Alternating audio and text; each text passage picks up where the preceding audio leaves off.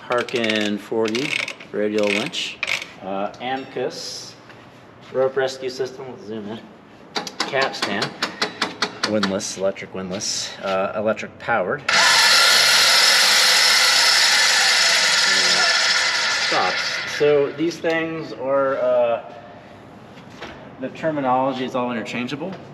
Um, whether it's a winch, a capstan, a windlass, uh, windlass derived from Scandinavian region, basically it's the same thing, they're all interchangeable. Um, these things um, can be uh, lowering devices or they can replace a haul team and be uh, raising devices. Um, and so everything has its share of and trade-offs, pros and cons, but um, these are great if you don't have a very large crew or like a haul team and you're, and you're doing a. Um, but they do have uh, some nuances and some things you kind of have to be careful of and cognizant of if you're going to actually use them. Um, some big considerations since both of these um, uh, are power driven. Um, it helps if you can actually see the rescue package. Um, sometimes you can't. Um, and you have to be very careful when you can't, especially like if you're doing a confined space.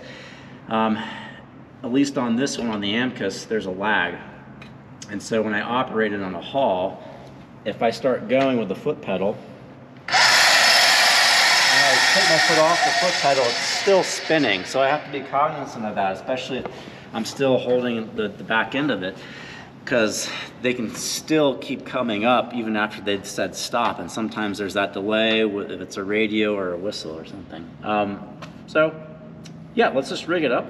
Um, so we have our working line rope that we wrap and we feed in through the pulley. Um, this thing spins freely, so um, as far as figuring out our direction of pull on an anchor, that's not that big of a deal. Um, and let's talk about theory here. So let's really zoom in close uh, and, and look at how the rope goes around the capstan or the winch or the windlass. So um, there's this thing called the capstan equation and it relates to how much tension or how much force is in this loaded line uh, and it relates it to how much force is in my brake hand uh, uh as a function of how many times it goes around the drum. Um, but really what it, we're getting at is um, it's two things. It's the cumulative uh, bend or uh, degree change, angles or radians, as well as the coefficient of friction between the rope and the material itself. Um, and those are both exponential. Um, so that's why whenever you tie like a tensionless hitch around a tree, you want a few wraps. And so how many wraps do you need? Well, it, it just depends. We can math this out. Um, but let's just say for all practical purposes, um, this is a two kilonewton or 450 pound load coming through my device. Um, so if I go, so that's one full wrap, two, three, and four. So if I do four full wraps, and I want these to be Dyson dressed, and this is 450 pounds, the amount of force that I have to hold here to keep everything stable um, is about 20 pounds.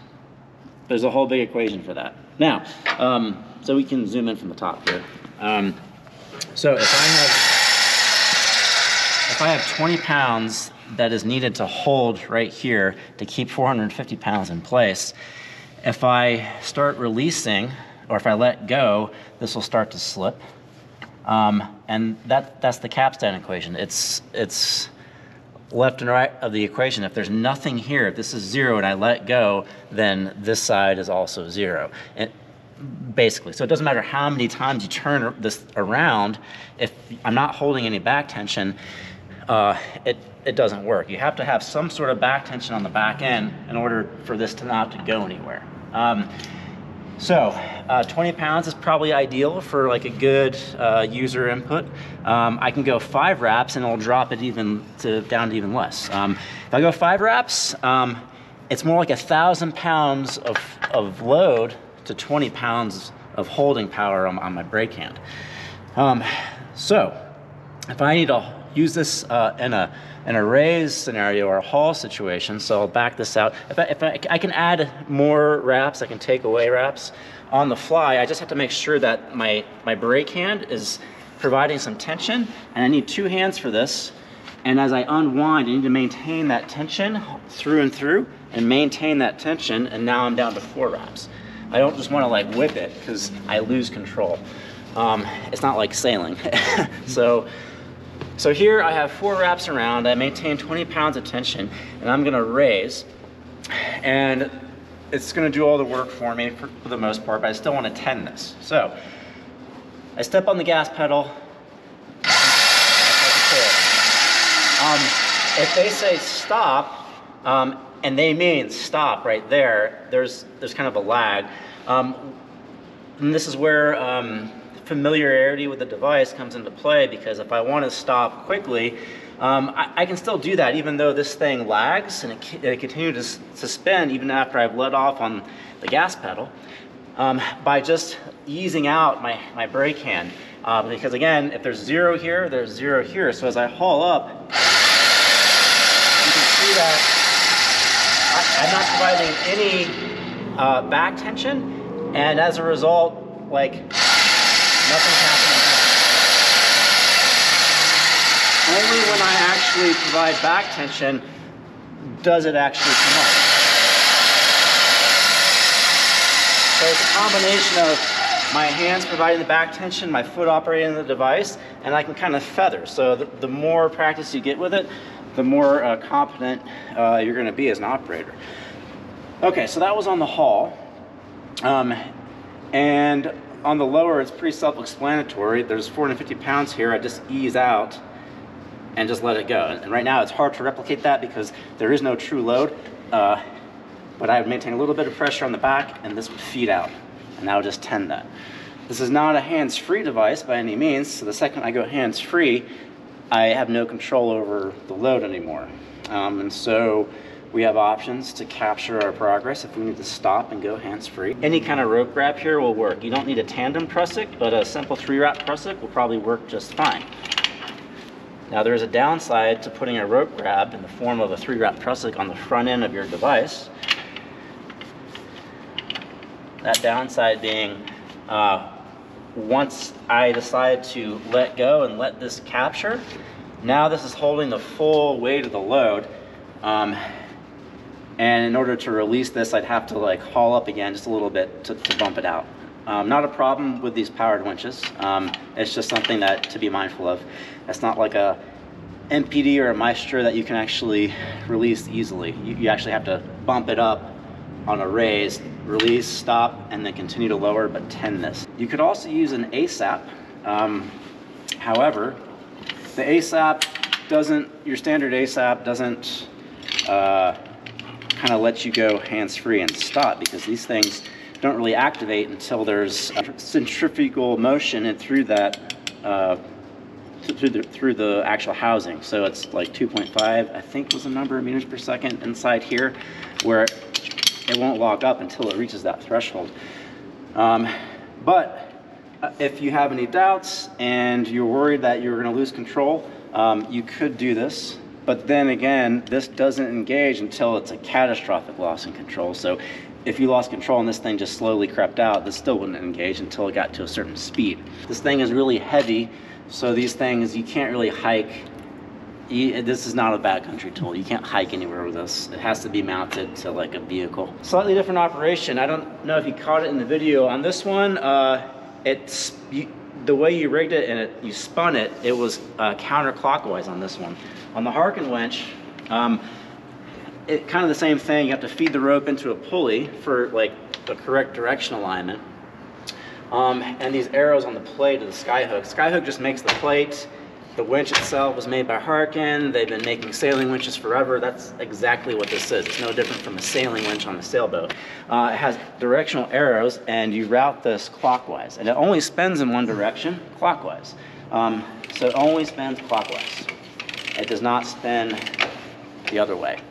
Um, so if you zoom in on the, the gearing up here, so um, I, I can insert a tool here and I can turn it left or right. It'll still spin clockwise regardless. So if I go right, the, the winch itself is spinning clockwise. If I go left, the winch is still spinning clockwise, but at a different rate. So, um, counterclockwise on the gear housing is a faster turn.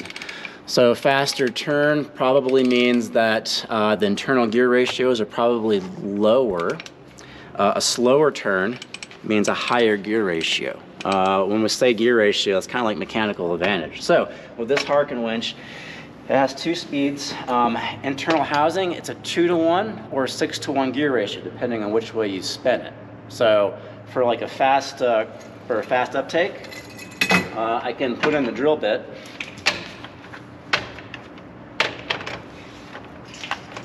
and go fast. That's a two to one gear ratio. I don't know what the ratios are through the drill, uh, but at least in here it's a two to one. And then a little bit slower, that's a six to one, roughly. Now, if we don't have the drill or the batteries died for whatever reason, uh, again, th this is the same thing you'll find on a sailboat that's paired with any winch. Um, in order to actually stick this thing into the to the shaft, you just use your thumb, twist it, mount it, and it self-locks in place. So now our mechanical advantages um, kind of change. This is where some people get confused on like, oh, how much mechanical advantage are you really generating here? Um, well, um, this is a faster uptake counterclockwise rotation. And so this would be your two to one gear ratio, but now I have this handle that's a certain length. This transforms the actual mechanical advantage of this winch, in reality, it, it, into like a 13. It's like a 13 to, to 1 mechanical advantage. Um, it's based on the length of this lever. Um, conversely, if I go the opposite way, it's a slower take up.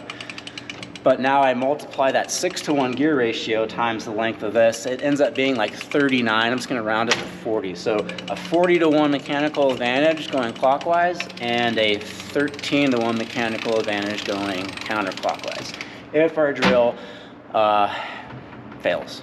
The number of wraps should be about four to five. If I have a, a 452 kilonewton uh, rescue load here, four wraps will give me about 20 pounds of tension on the back end. So let me back out here and get my count right. So this is, that's one full wrap, two, three, and four. And when I wrap these around, I want to make sure that nothing's crossed over because that can really screw me up um, if I'm not careful uh, during the haul and they can pinch on each other. So uh, that was four wraps around the drum of the winch itself. On this fifth and final wrap, let's really zoom the camera in and focus in on where this rope comes up and off onto what we call the stripper arm. So let's get this, and now you can see that our rope is coming off from here, mounting up onto the stripper arm through the teeth right here.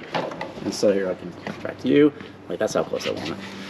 Okay, so if we look at, at these grooves in here, I can push this down, it's on a spring. And so these teeth kind of lock onto the rope. And so during a haul, um, you could you could consider this to be auto locking. I would. I think it's safe to go hands free. Um, when when I finish routing the rope through the teeth, the pigtail just helps self tend. Uh, it just assists that. So there's your rope going through the pigtail. The rope is going through the teeth.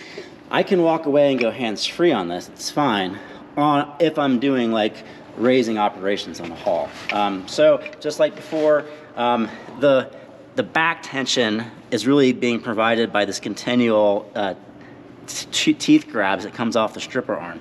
And so here,